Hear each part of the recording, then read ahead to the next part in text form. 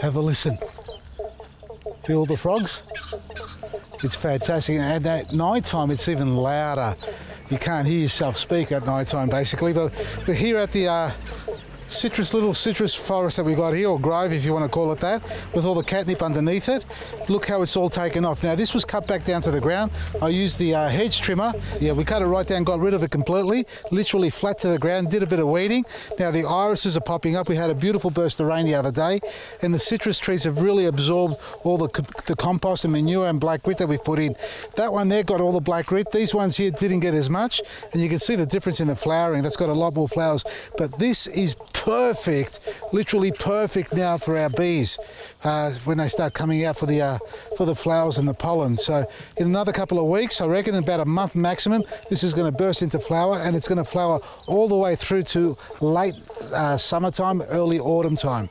And another thing, folks, uh, we've had a few messages coming through, just a bit of clarification on the garlic, in particular the pruning of the garlic. And I've mentioned in the past that in early stages, when you plant your garlic, first plant them, they come up a little bit.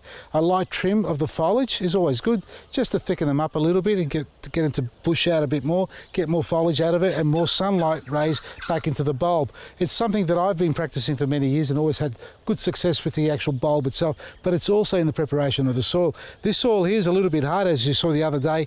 It's a little bit hydrophobic, but it's still a little bit on the sandier side rather than clay. So your soil can't be too acidic, can't be too boggy, and it's got to have good drainage, obviously. Now, as far as pruning them back, and when Mama did the other day, now uh, a few of you have mentioned why does she prune them back? Well, she was basically cleaning them up, even though she knows this is all the foliage there, basically. Have a look at that. And this is all the new growth that's come on it as well. This is what I mean by discoloration. See these ones here? Haven't been pruned. Look at that. That's dieback. It's all dying back here. Now, you can sit back and say, no, I'm not going to cut that off. That leaf is absolutely useless, folks. It's going to do, serves no purpose other than that dieback. Now, it could be viral, could be insect, could be rust, uh, things like that. So you need to clean all these off. Take them off, you cut it back. Now, easy way to do it is go over the top and tear them off. If you don't like doing that, then don't be growing garlic at all. Now look, I'm no expert at growing garlic, but I'm an expert at saying this isn't a healthy leaf, comparing that to a green leaf. So what are you going to do? You leave that on there, have a look in case it's viral. It's weather borne, it's weather damage basically, and that can turn into spores, and that's what I'm talking about here, rust. You can start getting rust on your plants. Now, you can reach for a chemical, herbicide, fungicide, insecticide, whatever tickles your fancy. You know what tickles mine? A good prune. It's like a haircut. If only I had the hair to show you how you can prune and it grows back. it's genetics also, folks. So there we are. A little prune like that, no harm at all. You can take the tops off as well. This soil's really good. Look at that. Really soft, loose, so we're going to get a good sized bulb on these ones here. Let's check the other one out. Look around here, it's already starting to form the head. Now we've got a couple of months ahead of us, so this has got to form, but what I need to do is scratch the surface here. And I did say it's a little bit sandy. In actual fact, it is sandy, but it's gone hard. It's crusted over. So I've got to scarify this over the surface using the tool, not my fingers, using a little cultivator. Just break up the crust so I can get more airflow down below and help the bulbs form bigger and better. Now you can see the new growth has already come on, so we really haven't caused any damage. If you if you decide to cut them back at a late stage, um, later than this obviously, it's going to be for harvesting the green foliage if you want, or because you're cleaning them up, because these were discolouring. They were going yellow on the tips, more so than I like. And mum came along and had a look at it, so she gave them a quick prune as well.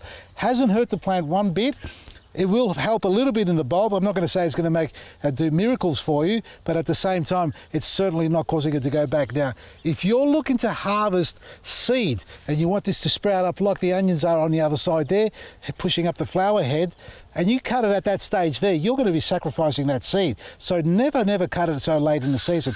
Early on, way earlier than this, this is way too far advanced now. For a light trim, there's no harm in that. Cleaning off the discoloured leaves or the tips, that's okay. It's already, it's only been, what, a week? If we're lucky, it's already pushed up again. So no harm to the garlic.